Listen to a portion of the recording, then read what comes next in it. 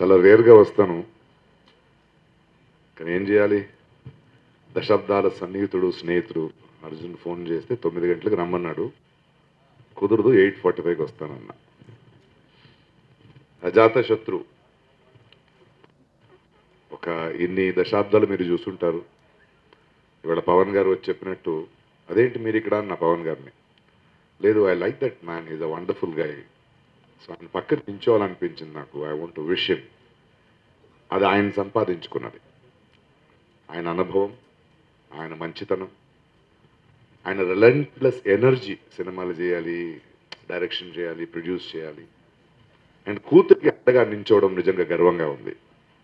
To be far your daughter in this industry అది చాలా నచ్చింది. నా కూతురు లాంటిదే.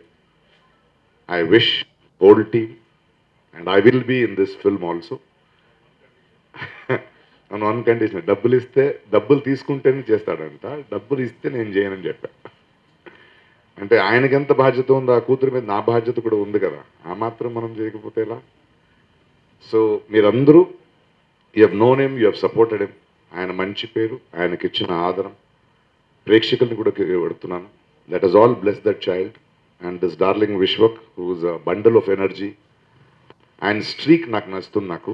తనకు కావాల్సిన సినిమాలు చేస్తూ తనకు నచ్చింది మాత్రం చేస్తూ తనకంటూ ఒక పేరుని తీసుకుంటూ వెళ్తున్నాడు. And that's what I like in this industry ప్రతి ఒక్కరు ఎవరి మీద ఆధారపడకుండా మా గుర్తింపు అవర్ రెలవెన్స్ అని వెళ్తున్నారు. I'm happy for it and wonderful to see a wonderful team Balamurugan కానీ సాయి మాధవ్ కానీ రవి బసూర్ కానీ అవర్ um, మన చంద్రబోస్ గారు కానీ so it is a wonderful technician team technical team అనుభవం ఉన్న వాళ్ళు Uh, people who don't take cinema for granted. Let the best of this film. Thank you.